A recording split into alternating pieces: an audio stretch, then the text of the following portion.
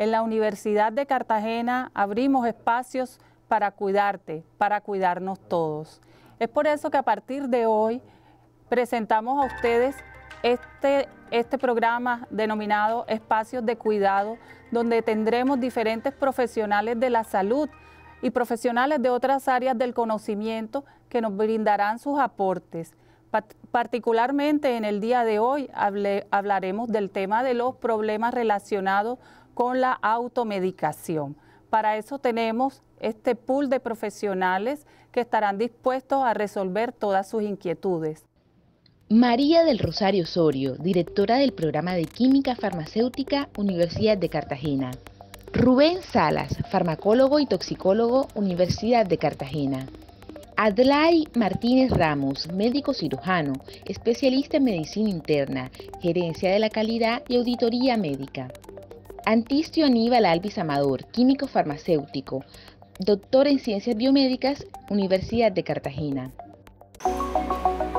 Según la Organización Mundial de la Salud, la automedicación es el tratamiento de los síntomas de enfermedad por iniciativa propia y sin el acompañamiento de un médico, mientras que el autocuidado es un conjunto de acciones sin la asistencia de profesionales de la salud que las personas realizan para mantener salud y bienestar.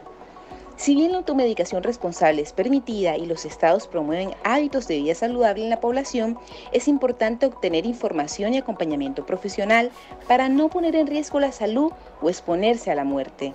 En países como España, Cuba y México, la práctica de la automedicación ha superado el 30%.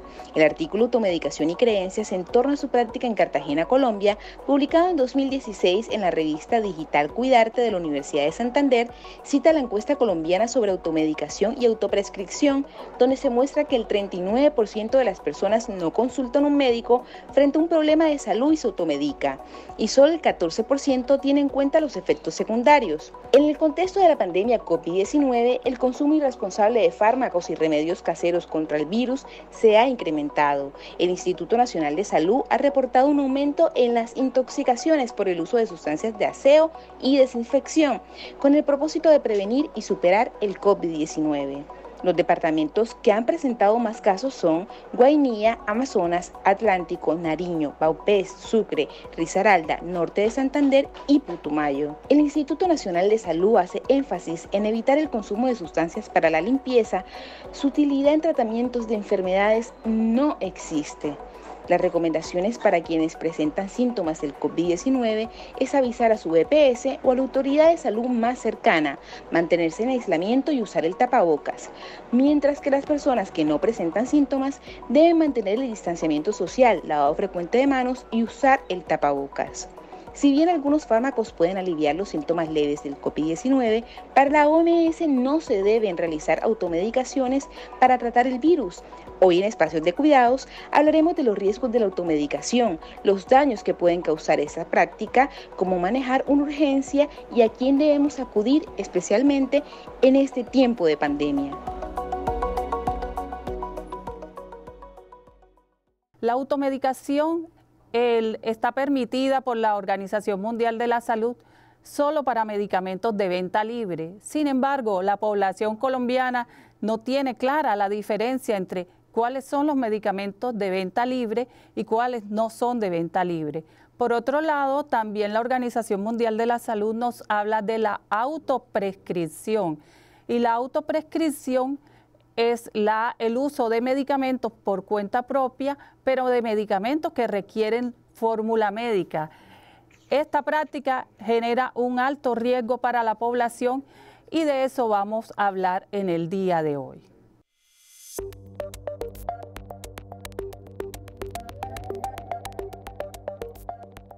En esta mañana queremos que nuestros expertos nos hablen sobre el tema de la dispensación cómo debe hacerse, cuáles son los tips que debe tener un paciente o un cuidador cuando va a comprar a la farmacia, qué debe saber, qué debe preguntar, qué es lo mínimo que por autocuidarse debe tener en cuenta. Bienvenidos, doctor Martínez, doctor Salas, doctor Antistio. Entonces, iniciemos con el tema de la dispensación de los medicamentos en las farmacias. Ok, muy buenos días, eh, doctora Mari, compañeros de CEP.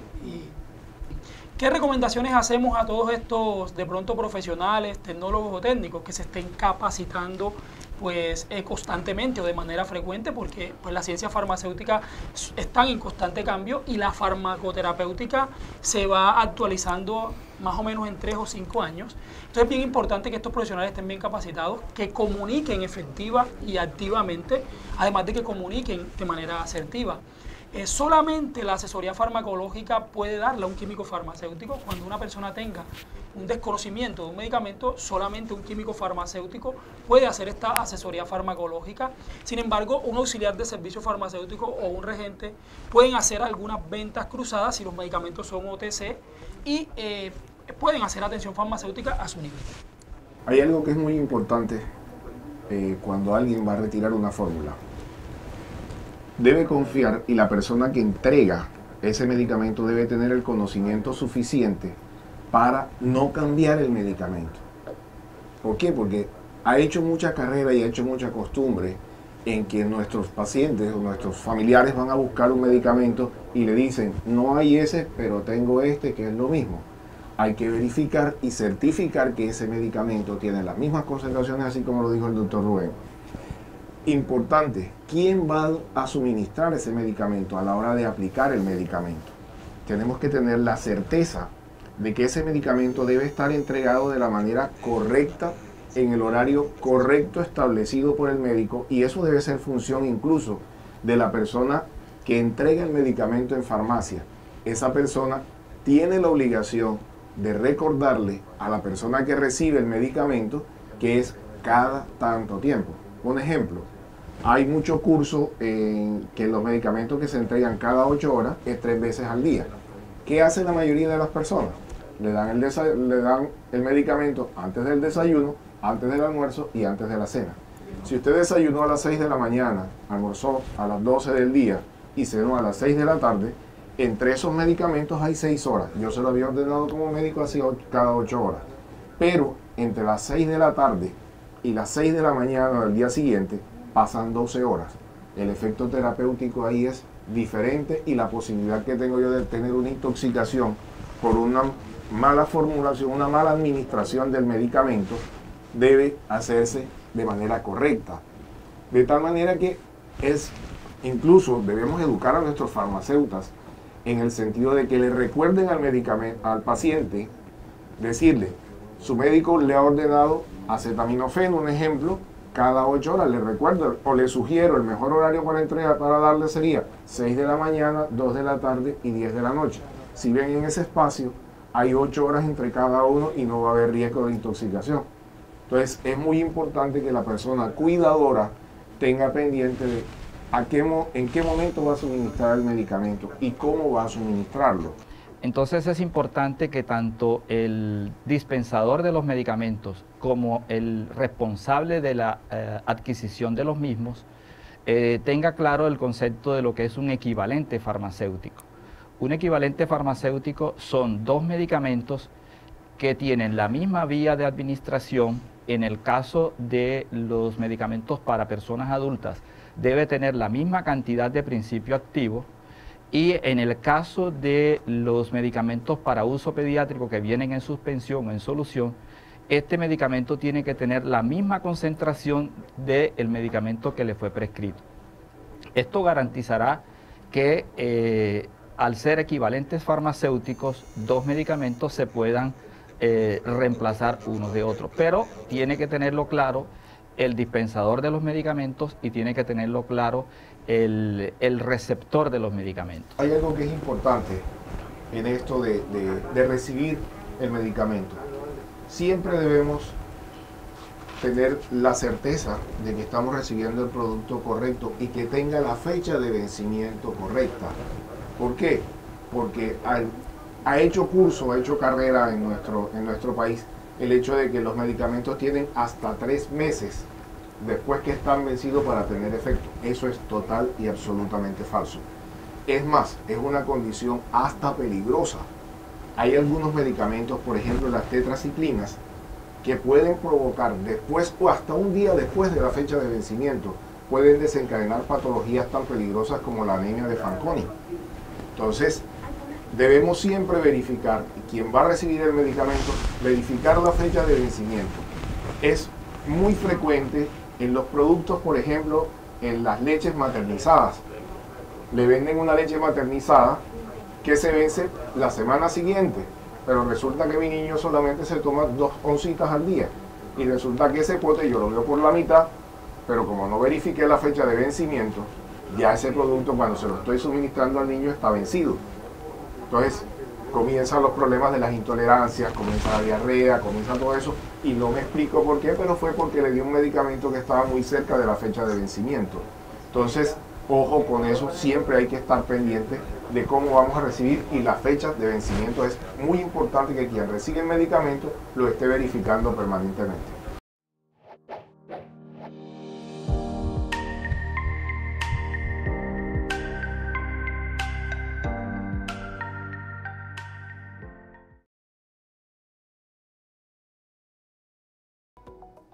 Continuamos ahora con nuestra segunda línea temática. Ahora hablaremos de los riesgos de la automedicación. ¿Qué puede ocurrirnos si tomamos un medicamento por, por cuenta propia y desconocemos toda la información necesaria para su administración adecuada?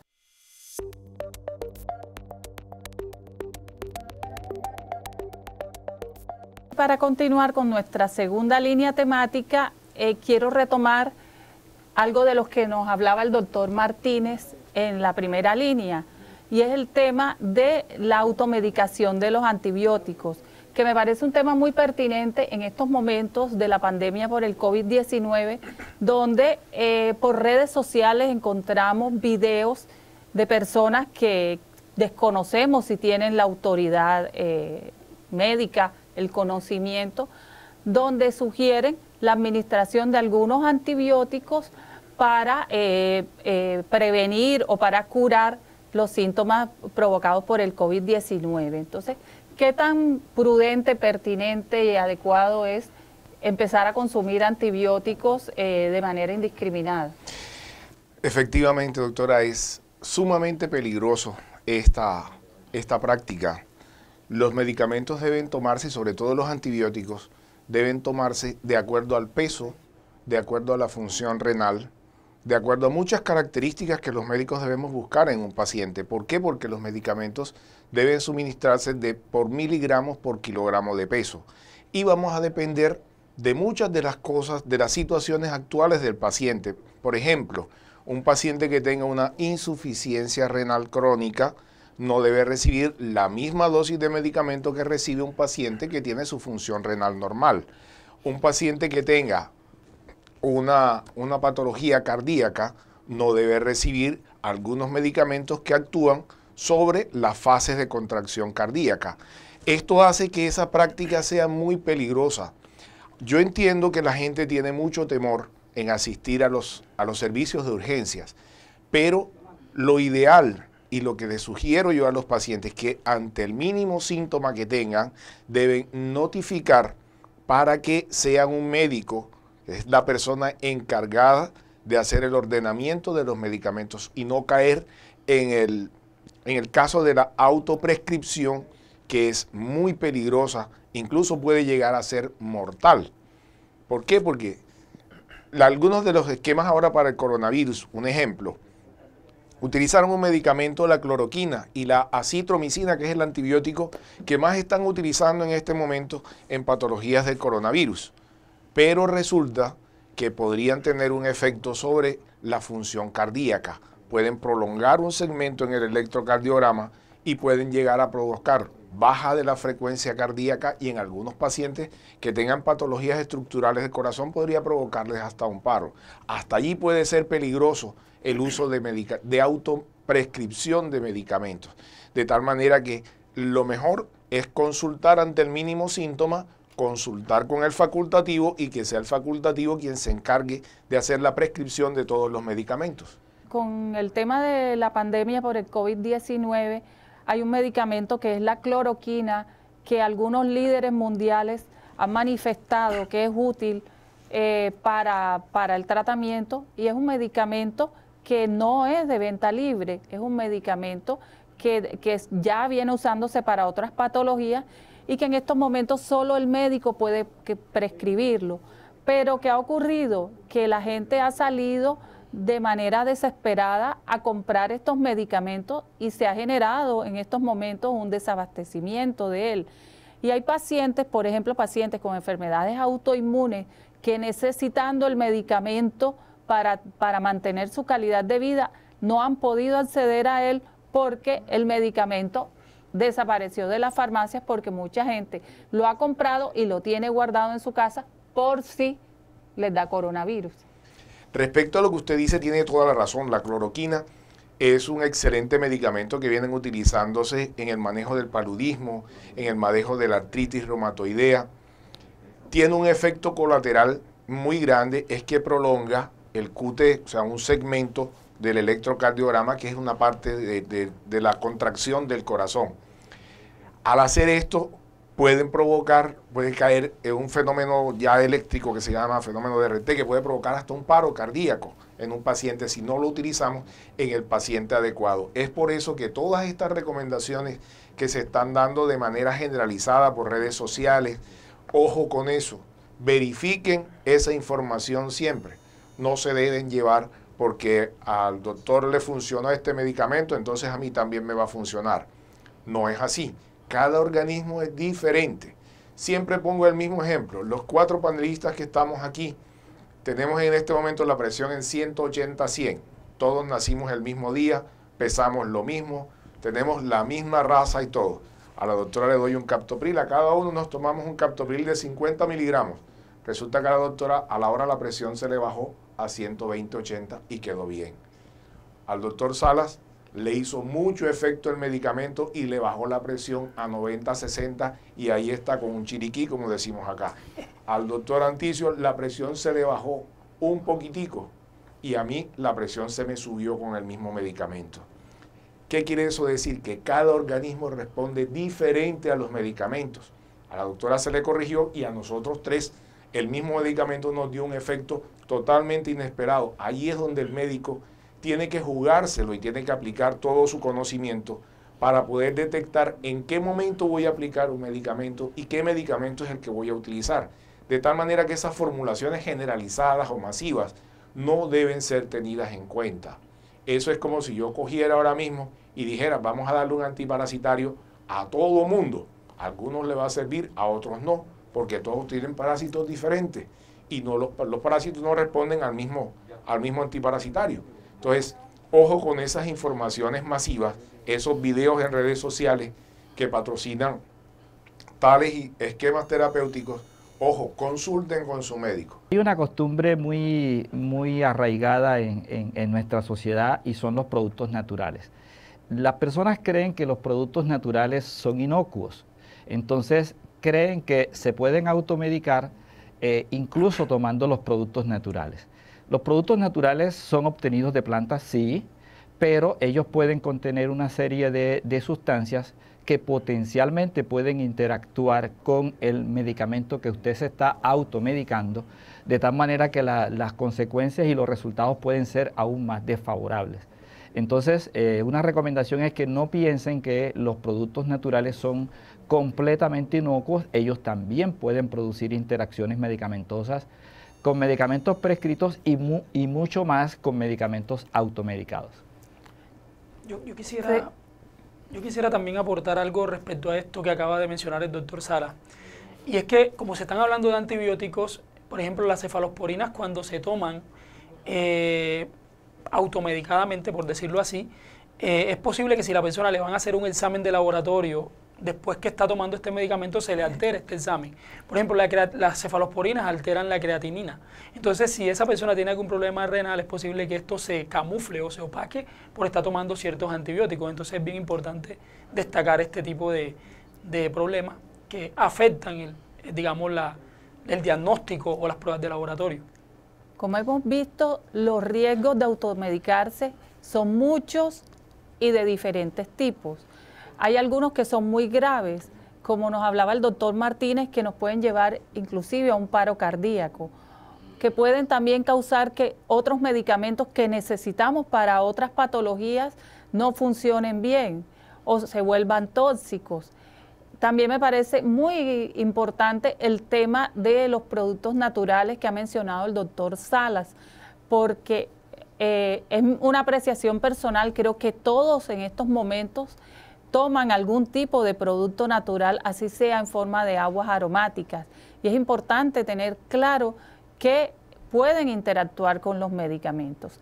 Entonces tenemos claro con esta segunda línea temática que los medicamentos per se llevan un riesgo, sean por automedicación o no sean por automedicación.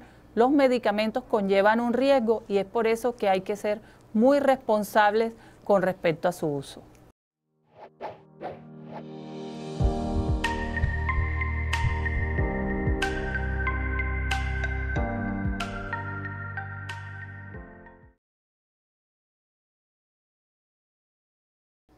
Y continuamos con nuestra tercera y última línea temática de la mañana de hoy. Eh, vamos a hablar en estos momentos del manejo de urgencias por intoxicaciones eh, relacionados con medicamentos.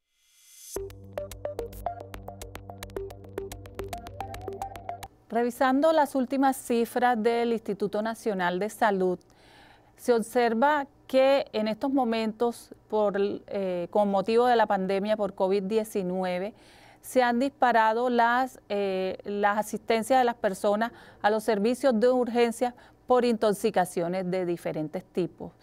Hay un incremento de las intoxicaciones por los medicamentos que eh, se están difundiendo por redes sociales que se utilizan para el COVID-19. Pero por otro lado también se ha disparado el tema de la ingesta de, productos de aseo del hogar. Y esto no es una situación que se limita a Colombia, esto también se ha presentado en otros países. Personas que se han tomado detergentes, eh, hipoclorito de sodio, amoníaco, en, este afán de, de subsanar esta situación que lógicamente nos tiene a, todos llenos de miedo y es eh, el tema de contraer eh, el coronavirus. Entonces, en esta mañana quisiéramos saber qué está pasando en las urgencias, cómo se está manejando, qué hacer cuando eh, una persona en nuestras casas se toma un medicamento y se le produce un evento indeseado. Las intoxicaciones por medicamentos pueden ser de dos tipos, pueden ser accidentales, porque yo me confundí en el momento de tomarme un medicamento y debía tomarme dos tabletas y resulta que la, eh, no cogí, las, no tomé las pastillas que eran, sino que me equivoqué de envase y me tomé otras. Eso puede generar una intoxicación, esas son accidentales o incluso podrían en determinado momento ser voluntarias eh, por los eh, intentos fallidos de suicidio. Esas personas que muchas veces por llamar la atención se encuentran 10 tableticas de, de, cualquier cosa y se la toman y después hasta lo dicen. Lo que debemos tener pendiente siempre son los síntomas con los que el paciente comienza. Si nosotros sabemos que es un paciente que tiene una capacidad funcional normal, tenemos que estar atentos a si el paciente desarrolla, por ejemplo, diarrea súbita, si desarrolla cefalea, si desarrolla mareos, si desarrolla vómitos, si desarrolla alguna alteración del estado de conciencia. Y ojo, esto es muy importante en las personas mayores de edad.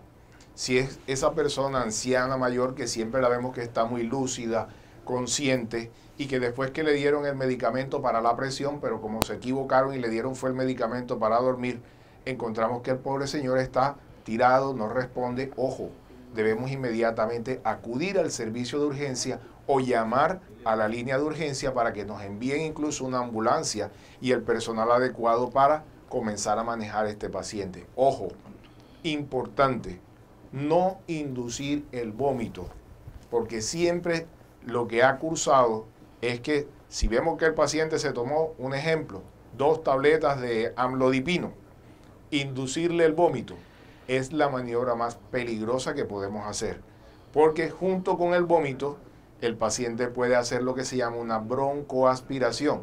Es que ese vómito se va a los pulmones y termina el paciente con una neumonía más grave que incluso puede matar al paciente. No debemos darle ningún tipo de líquido. Por ejemplo, darle leche es lo más frecuente, que le dan al paciente un vaso de leche tibia o un vaso de, de agua tibia también para tratar de generar el vómito. No debemos darle nada de eso.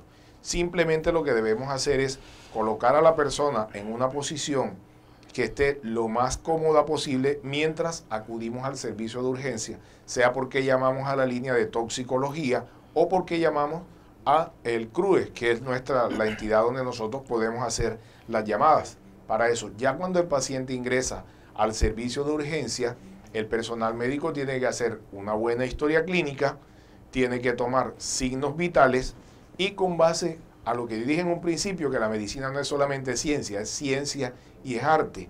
El arte de saber quién le suministró el medicamento, cómo se lo están suministrando, a qué dosis se lo suministraron, cada cuánto se lo están suministrando, porque puede ser que al señor le correspondía la droga a las 10 de la noche, pero yo lo vi dormido. Entonces preferí dárselo mejor a la, a la 1 de la mañana que se despertó y como le tocaba la siguiente dosis a las 6 de la mañana, se la di efectivamente a las 6 de la mañana. Entonces, esos dos medicamentos se sumaron y potenciaron un efecto, eh, un mal efecto, que va a terminar produciéndome un efecto colateral. Entonces, siempre recuerden, siempre no inducir vómito, no dar bebidas, no hacer que el paciente esté expulsando ni estar haciendo algunas maniobras. Ahí ustedes ven cosas insólitas muchas veces. En los niños los cogen y los agarran por los pies, en los recién nacidos, para que bote lo que tiene sin que sea un vómito. Eso no se debe hacer tampoco. Lo importante es acudir siempre al servicio de urgencias.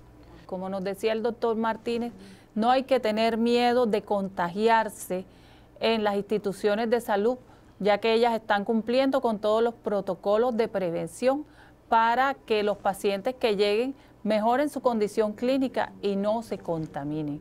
Esto es muy importante porque se está generando en estos momentos que las personas se complican en sus casas de, patologías menores por miedo a contagiarse con el coronavirus. Quiero agradecer a todos ustedes por su presencia hoy aquí.